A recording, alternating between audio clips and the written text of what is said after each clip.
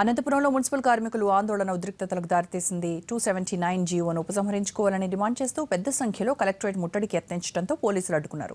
దీంతో ఇరు వర్గాల మధ్య తోపులాట జరిగింది. ఆందోళనకారుల్ని అరెస్ట్ చేసి పోలీస్ స్టేషన్కు తరలించారు. నలభై ఏళ్ళుగా తమతో పని చేయించుకుని ఇప్పుడు రోడ్డును పడేశారని ఆవేదన వ్యక్తం చేశారు కార్మికులు. అనంతపురం జిల్లా సిఐటి నగర ప్రధాన కార్యదర్శి కామ్రేడ్ వై నాగరాజు గారిని వేదికపరిచారు